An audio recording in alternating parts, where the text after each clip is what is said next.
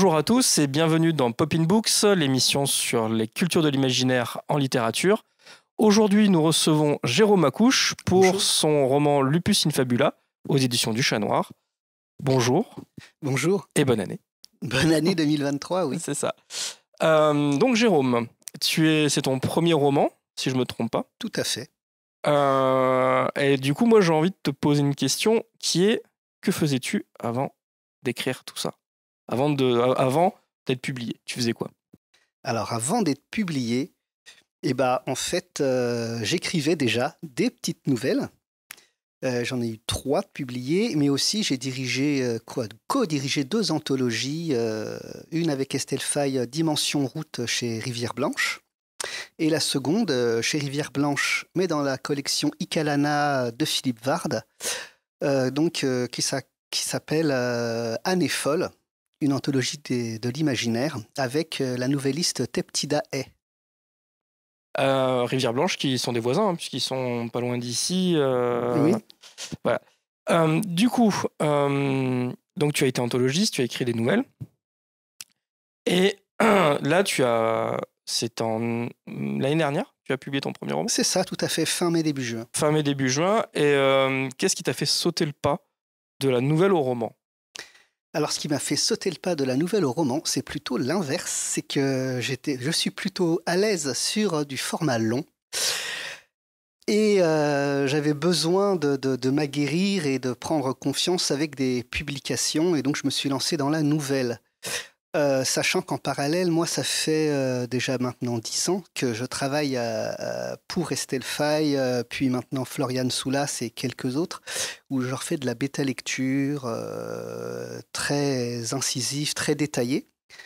Et du coup, pour moi, écrire du roman, c'était vraiment plus le, le réflexe naturel. Du coup, j'ai écrit un premier roman, une fantaisie 17e euh, qui n'a pas trouvé preneur. En revanche, ce premier roman s'est transformé en une gigantesque carte de visite auprès des éditeurs, une carte de visite de 600 000 signes, parce que j'ai quasiment eu que des retours personnalisés. Et donc, euh, dans les festivals où je suis ensuite allé, euh, plusieurs éditeurs euh, sont venus me parler et m'ont demandé de leur envoyer un prochain manuscrit. D'accord. Et donc ton manuscrit suivant, ça a été Fabula. Donc Lupus Fabula, que donc un, éditeur m'avait demandé euh, euh, à la voir un peu en avant-première. Il l'a pas pris. Et entre-temps, j'avais eu ma nouvelle euh, éditée au Chat Noir pour l'anthologie 9 euh, qui s'intitule La justice des ogres. D'où l'importance des nouvelles, parce que justement, le travail éditorial s'est tellement bien passé avec eux bah, qu'ils m'ont tout simplement demandé si j'avais pas euh, des manuscrits dans mon tiroir. Donc, je leur ai proposé ma fantaisie 17e, mais je leur ai dit, ça va pas être pour vous, même si c'est de la dark fantasy. Et en revanche, j'ai un roman de steampunk qui se déroule dans les années folles. Donc, après quelques mois d'attente, ils m'ont dit, oui, on le prend, euh, si ton premier éditeur, enfin, puisque le premier éditeur euh, ne l'avait pas pris. D'accord. Donc euh, c'était déjà un parcours euh, très euh, pensé et très, très conscientisé chez toi, en fait, le- l'écriture et le- la volonté d'être euh, d'être auteur. Alors, oh, tout à fait, là, un peu comme tout le monde, euh, dès l'âge de, de 7-8 ans, moi, je me suis mis à écrire. Et comme justement, j'étais beaucoup à lire des Spider-Man et compagnie, et que je voulais être Stanley à 7-8 ans. On a euh, tous voulu être Stanley à 7-8 ans quand on était petits garçons des années 80. C'est ça. Et malheureusement, euh, je me suis rendu compte que j'avais pas le niveau de dessin. Donc j'étais absolument insatisfait de mes œuvres, qui étaient un odieux plagiat de Spider-Man. Et du coup, je déchirais mes œuvres euh, tel un poète maudit. Et du coup, à bout d'un moment, j'ai juste gardé le texte. Et je me suis mis à la narration comme ça. D'accord. Euh, du coup, j'allais te demander, c'est vrai que nous ici, on, on demande souvent euh, quel c'est le livre qui a donné le goût à la lecture et quel livre qui a donné le goût à l'écriture. Donc euh, j'avais plus ou moins compris pour l'écriture, c'est Spider-Man. c'est ça? Les comics en général, Ouais, les- je dois euh, oui, étrange. Confesser une passion coupable pour le personnage de comics Ghost Rider. Je crois qu'il y a que moi en France qui achète tous les comics qui sortent. Il y en a un qui est sorti euh, hier. Oui, oui, oui. Ah, je avec sais. Benjamin Percy, c'est ça, c'est au scénario. Je l'ai pas lu celui-là Oui. encore. Bah, moi, je vais bientôt me le. D'accord, donc tu as une passion pour Ghost Rider. Tu fais de la moto? Absolument pas, mais bon, j'ai découvert euh, ado. Et je me suis dit quand même, euh, un type avec le crâne enflammé sur une moto en flamme, c'est extraordinaire, je veux être ça. Du coup, je fais du vélo électrique dans Paris. ouais, c'est un peu moins punk. Ah oui, carrément. Mais bon, tout est dans l'attitude. Tout est dans l'attitude. Après tout, Ghost Rider, on l'a bien vu chevaucher des, des mammouths enflammés aussi récemment. Oui, tu vois, je suis quand même. Hein. T'es pas le seul à suivre Ghost Rider. D'accord. Et du coup, cet imaginaire-là t'a amené à, à Lupus in Fabula? Tout à fait. Qui est, euh, alors toi, tu as dit du steampunk, moi j'aurais dit du radium punk. Radium punk, pour ceux qui l'ignorent, ça vient de la brigade chimérique de euh, Serge Leman.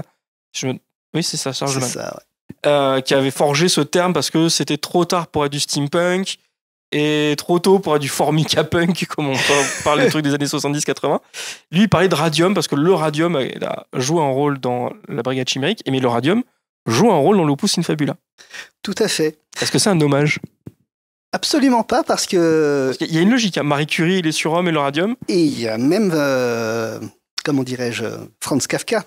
Oui, oui, oui, il y a effectivement une petite apparition de Grégoire Samsa dans les deux. Voilà. Dans la brigade et chez toi. Alors en fait, bah, figurez-vous que la BD de Serge Lehmann, je l'ai découverte et lue euh, une fois que j'avais remis mon manuscrit D'accord. Et en lisant, je me suis dit, oh mon Dieu, je vais passer pour un plagiaire, notamment avec l'apparition de, de, Samsa. Kafka, ouais. enfin de Samsa. Et enfin voilà, donc c'était amusant. Et pour revenir sur les termes, oui, je parle de steampunk puisque de toute façon, c'est la, hum, comment dirais-je, c'est l'expression utilisée euh, pour définir le genre. Mais euh, avec Estelle, on avait surtout dit, c'est du Gatsby punk. Oui, euh, oui, Gatsby magnifique. D'ailleurs, je crois que c'est le terme qui est employé en quatrième de couverture. Complètement, oui, oui, c'est vraiment pas accidentel parce que moi, de toute façon, c'est comme le philosophe Clément Rosset, la force majeure, c'est la joie. D'accord.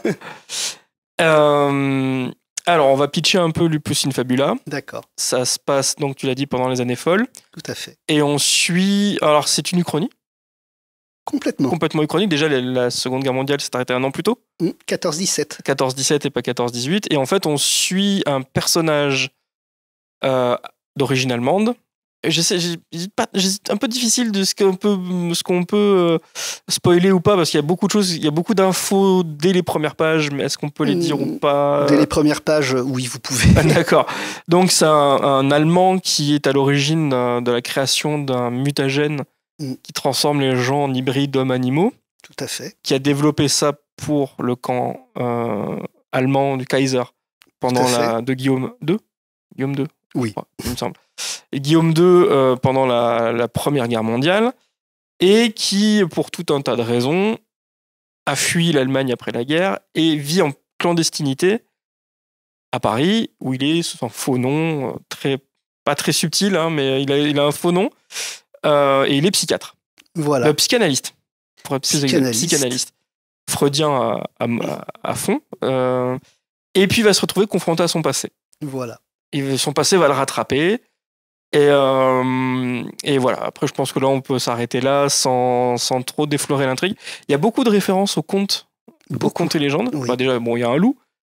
Il y a des, beaucoup de personnages portent des noms de contes. Mm. Donc comment tu as forgé ça et, et pourquoi? Euh, En quoi tu t'es dit que ça allait servir ton propos? Alors, euh, bah, pour cela, en fait, il faut revenir vraiment euh, à l'origine du roman, pourquoi j'ai voulu l'écrire? En fait, j'ai voulu répondre à justement l'importance des nouvelles une nouvelle fois. c'est que je voulais participer à un appel à texte qui avait été lancé et qui s'appelait Vulnérable. Et donc, je m'étais trituré les méninges pour entrer donc, bah, dans cette thématique. Et j'ai eu une idée, je ne sais pas d'où elle vient, donc il ne faut pas me demander, mais je me suis dit, et si le loup, grand méchant loup, était un psychanalyste qui recevait le petit chaperon rouge en psychanalyse et que le rapport de force s'inversait durant euh, donc euh, la thérapie. Donc j'étais parti là-dessus. J'ai écrit une nouvelle. L'appel à texte a disparu du jour au lendemain et peut-être trois ou quatre ans plus tard, euh, il y a eu une note sur Facebook qui est passée pour dire qu'il n'y aurait pas de, d'anthologie. Tout le monde s'en doutait.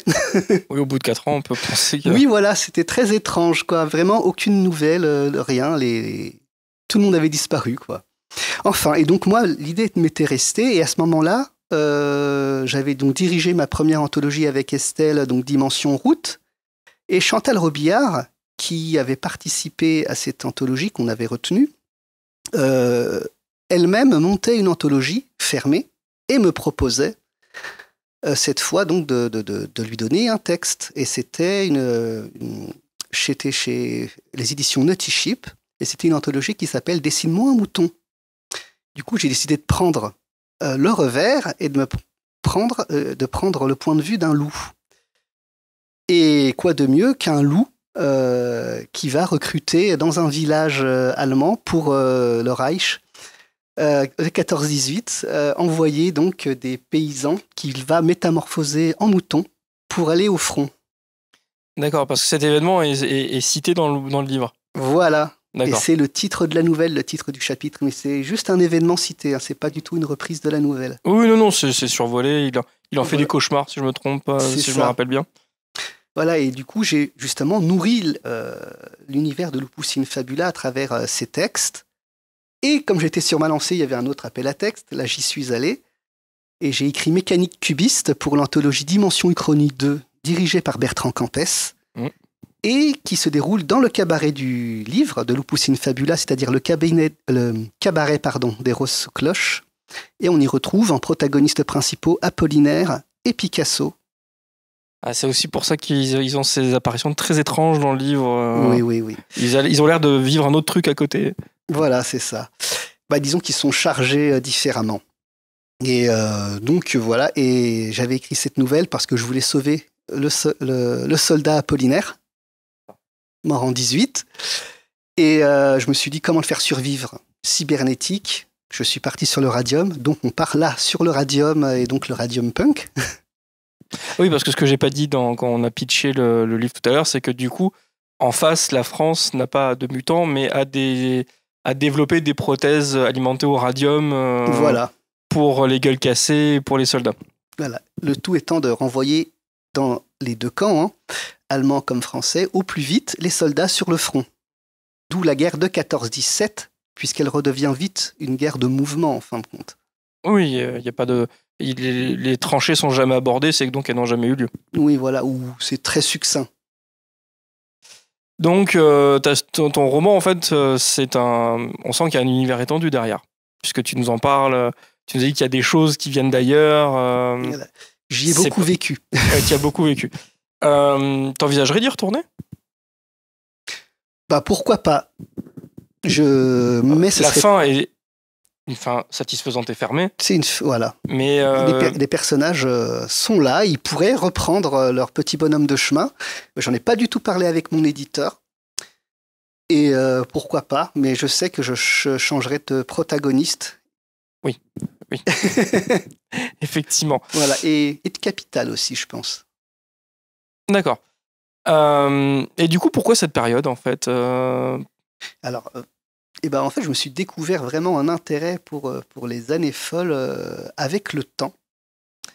Et je crois qu'un de mes plus vieux souvenirs qui est rattaché, c'est que j'avais vu un documentaire au collège sur la guerre de 14-18 et donc les années 20, la suite. Et donc, ce documentaire, euh, la conclusion de ce documentaire, c'était une phrase qui disait, donc en 14-18, donc en 4 ans, on a changé de siècle. C'est quelque chose qui m'a marqué, euh, qui m'a vraiment qui s'est imprimé en moi euh, au fer rouge, cette, cette phrase. Et c'est vrai qu'ensuite, euh, quand on voit, c'est vraiment, il y a des c'est une période de bouleversement. C'est une période où les gens ont envie, ont envie vraiment de croire que c'est fini, qu'on va vivre dans une utopie. que c'était la DRDR Exactement. Et justement, le Poussine Fabula, je l'ai, je l'ai écrit et euh, je l'ai écrit comme un post-apo en fait. Pour moi, c'est un, post-apo. Les gens, ils sont heureux, ils, ont envie d'être, d'être joyeux, d'y croire. C'est le cliché hein, de la fête à Montparnasse, alors que la pomme euh, pourrie est déjà dans le verre. euh, Oui, oui, à cette époque-là, l'Italie avait déjà, avait déjà Mussolini, élu. Mussolini et puis Hitler n'était pas très très loin. hein. bah justement, ça se passe en 1925 parce que c'est l'année de publication de Mein Kampf, Qui a un rôle dans l'histoire, qui a un rôle dans l'histoire, qui est déclencheur euh, d'éléments. de certains éléments. Et d'ailleurs, euh, la conclusion aussi euh, renvoie à ça et on pourrait se demander ce qui va se passer en- dans les époques, dans les années, dans les 20 ans qui suivent en fait, dans les 10 ans même qui suivent. Voilà. Est-ce que, on- est-ce que cet univers-là connaîtrait les mêmes choses que le nôtre? Je pense que les choses seraient un peu différente parce que je suis pas sûr que ce soit les États-Unis qui, euh, qui comment dirais-je, euh, puissent un peu euh, entre guillemets culturellement envahir le monde ou politiquement, militairement. En tout cas, c'est pas ce que tu décris à la fin. Voilà. Très bien. mais du coup, bon, on a un peu parlé du, du livre en lui-même et de son univers. Donc, on a compris, c'est un cheminement. Il y a eu plusieurs nouvelles qui sont passées. Il y avait et on, arrive à la fin d'un arc, on va dire, mmh. d'un arc d'écriture de, qui est le tien. comment tu as abordé l'écriture de ce truc, de ce, de ce livre et, euh, et de parce qu'on a, on a compris ta démarche intellectuelle. D'accord. Mais à quel moment tu t'es levé un matin et tu t'es dit bon, cette fois je m'y mets et ça va prendre cette forme-là et, et je vais aller où et je vais en faire un roman? Très bien bah, C'est simple, deux éléments. J'avais donc passé plusieurs années sur mon premier roman de Dark Fantasy et vraiment, euh, c'était ambitieux et déprimant comme ambiance. Donc je voulais quelque chose de plus léger, de festif, de joyeux, même s'il y a de l'âpreté et de la dureté. Et deuxième chose très importante, euh, j'avais déjà un enfant, donc je savais ce que c'était, et il y avait la deuxième en route. Je me suis dit, j'ai quelques mois devant moi, je dois écrire un roman, euh, alerte, enlevé, court.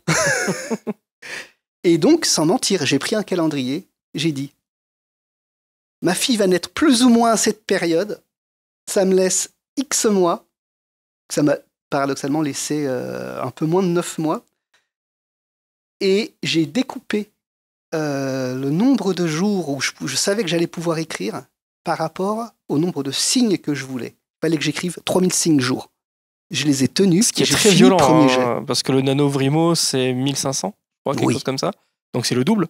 C'est ça. Alors, ah, c'est énorme. Euh, c'est énorme, j'avais pas le choix. Et j'écris comme ça, parce que j'ai ah pas non, temps. Et donc, toi, tu as, besoin d'une deadline et tu as besoin d'un rétro-planning. Ah oui, oui, là, j'avais, j'avais pas le choix de toute façon. Et ce qui est bien avec 3000 signes, parce que du coup, j'ai gardé 3000 signes, je suis content. 3000 euh, signes, c'est assez long pour creuser les choses, mais c'est assez court pour ne pas être euh, inenvisageable dans une journée. Quand on n'a que ça à faire. Manger, c'est pour les faibles. Dormir aussi. Dormir, c'est accessoire. Bah ça, tu un entraînement en tant que jeune papa. Euh. Oui, voilà, c'est ça. J'ai pris, le, pris le pli et plus j'ai d'embûches, plus je suis à l'aise et plus je suis créatif. Donc, donc toi, tu, tu, tu, fais partie de ces gens qui... La créativité naît de la contrainte. Oui, oui, oui. Et même si c'est qu'une contrainte que je m'impose, parce que je me rappelle autrefois un temps, je vais pas, je vais pas dire béni, mais un temps où j'avais du temps, je pouvais passer une journée devant un ordinateur avec une feuille, un format A4 euh, vide avec un petit clignotement, et c'est tout. Maintenant, non, je sais même plus ce que c'est, j'ai pas le temps. Non, aujourd'hui, il faut écrire. Ah oui, non, j'écris. c'est, j'ai 15 minutes, je les prends. D'accord. Euh, tu, fais partie de ces gens aussi donc qui pensent que l'écriture est un muscle qui se travaille? Oui.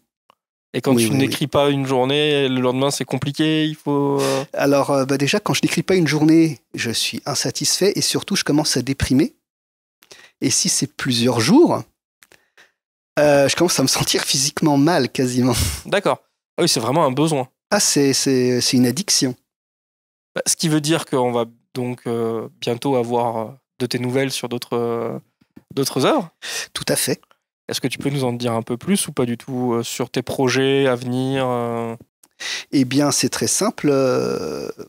Lupus in Fabula est donc un roman qui est sorti aux éditions du Chat Noir, qui ont donc publié, comme je le disais tout à l'heure, ma nouvelle La justice des ogres. Et à l'origine, la base, c'est une adaptation, enfin, retourner dans l'univers de la justice des ogres sous forme romanesque. D'accord. Je leur ai dit, bingo, on y va. J'ai commencé à l'écrire. Et entre-temps, ils m'ont dit, on va publier Lupus in Fabula en premier. D'accord. D'accord. on a fait les corrections éditoriales, le livre est sorti. Et là, donc, je retourne sur mon projet euh, de d'urban fantasy euh, berbère euh, pour le chat noir.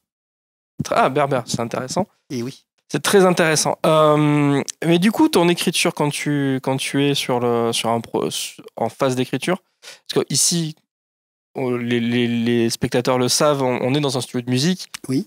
Euh, est-ce que tu as besoin, toi, de, musique ou tu as besoin de silence pour écrire ou, euh, Et si tu as besoin de musique, tu écoutes quoi? Alors, euh, lors de la phase d'écriture elle-même, j'ai pas besoin de musique. Puisque de toute façon, en fait, la musique, je l'écoute. Donc s'il y a un son ou une voix, je vais m'arrêter, je vais l'écouter en fait. Donc je suis plutôt team bruit blanc. Alors tout ce qui est euh, playlist euh, pluie, orage, pluie sous la tente, pluie sous la voiture, pluie au bar, c'est pour moi. Et la musique, c'est avant, c'est pour me mettre dans l'ambiance. Quand j'écrivais ma fantaisie, j'écrivais des chants, j'écoutais des chants grégoriens, de la musique baroque du XVIIe, une de mes autres passions. Pour Lupus in Fabula, beaucoup de jazz, de Dixieland, euh, de Charleston. Et c'est pour me mettre dans l'ambiance, parce que c'est le rituel de... Je passe un sas, je décompresse et je rentre dans l'univers euh, du roman. D'accord. Et donc, du coup, euh, tu te fais des petites playlists d'ambiance pour, euh, pour rentrer dans l'état d'esprit nécessaire. Exactement. Ok. Et t'as songé à les partager ces playlists ou quand tu, par exemple, moi, je trouve que ça serait intéressant de savoir euh, qu'est-ce que tu avais écouté à ce moment-là, euh, avant de l'écriture, parce que qu'on le veuille ou non, on a, on a reçu ici Morgane Ovgenko qui est musicienne et autrice, et, et qu'on le veuille ou non, la, quand on a écouté de la musique avant ou pas, ça influence sur le rythme d'écriture, sur ce genre de choses. Mm. Et ça te, ça t'est venu à l'esprit de partager ces playlists ou c'est juste des choses que tu as improvisées et puis du coup tu pas noté, tu sais pas ce que tu. Euh et bah et là c'est la deuxième solution, c'est que moi je faisais mes recherches, j'avais mes des références, mais euh, je n'ai pas non plus euh, une playlist qui existe à, à écouter. D'accord. Et comme on a aussi des, des gros gourmands dans l'équipe, on se toujours posé la question. Euh, quand on, quand on fait sa petite danse de la victoire, parce qu'on a, on a terminé son, on a envoyé son script, comment on se fait plaisir quand on est, quand on est Jérôme Accouche euh, comment, on se félicite d'être arrivé à la fin de son projet? Il y en a qui mangent, il y en a qui vont sortir danser. Euh, qu'est-ce que tu fais, toi? Eh bien, c'est pas encore vraiment ritualisé, parce que déjà, en début, en général, je suis tout seul. oui. Ah, c'est souvent le cas. Hein. Donc voilà, je te dirais bien que je reprends une cigarette, euh, etc., et que je prends ma voiture en essayant de, de ne pas tomber sur Annie Wilkes. Mais non, et eh ben en fait, c'est déjà, je, l'écris à ma femme qui est souvent euh, au boulot à ce moment-là. Et euh, voilà, oui, non. En fait, c'est ma femme qui s'en occupe. C'est que elle m'offre une bouteille de champagne et on se boit, on se boit une petite coupe en fait une fois que les enfants sont couchés. C'est bien, c'est un, un, rituel. Parce que je dois avouer que moi je suis complètement démuni dans le truc, je suis là. Je fais quoi maintenant? Passe au projet suivant. Voilà, c'est ça. Enfin, déjà, la, vraie victoire, c'est de l'envoyer à l'éditeur et de entamer une nouvelle, une nouvelle phase. Ça t'est jamais arrivé de, de, te dire non, je peux pas l'envoyer, il faut que j'ai faut que j'ai encore trois lignes à corriger euh Alors, euh, le truc, c'est que je deviens schizophrène et je fais si, si, tu l'envoies, sois libre. Parce que c'est vrai que on parle beaucoup du fait que on ne termine pas une œuvre, on, l'abandonne. On l'abandonne au meilleur moment. On essaye. On suppose que ça l'est. Ok. Eh ben merci Jérôme de ce moment que tu nous as accordé. Bah merci à toi. Avec plaisir. À bientôt. Au revoir. Au revoir.